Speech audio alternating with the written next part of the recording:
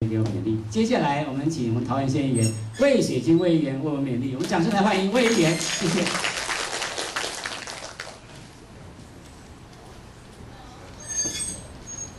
呃，谢谢我们校吴校长，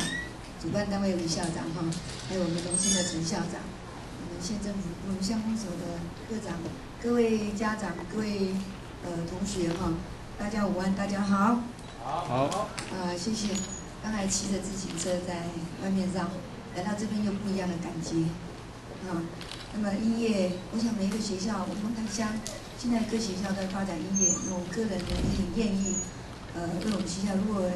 我总是怕说这个音乐的乐器啊够不够，或者它比较昂贵，我能够做的就是尽量帮大家，帮我们学校去到县政府争取一些音乐的器材，那从事这音乐器材，我常常跟校长讲。如果你有好的社团，音乐社团，如果到学校来，其实可以给他们共同来分享使用，让更多人来学音乐都很方便。那这里跟大家推荐，呃，我刚刚香香港讲的这爱乐，它是龙潭乡第一个真正以这个管弦乐来成立的一个音乐社团，叫爱乐社团。那我觉得这个社团呢，他们在呃客家文化馆表表演的时候，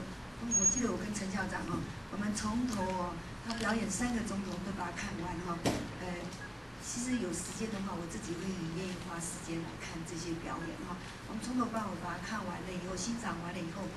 呃，才知道说，呃，这个音乐这里面，那他们大概的需求是什么？我们做的，我们虽然不会弹音乐，不会乐器，但是我们知道说要怎么样可以让帮帮助他们协助这些呃社团，因为这个社团成。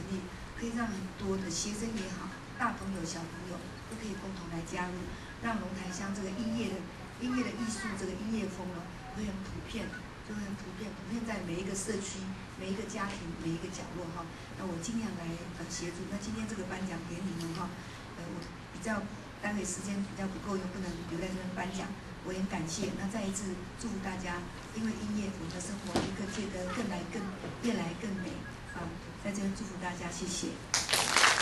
谢谢魏议员。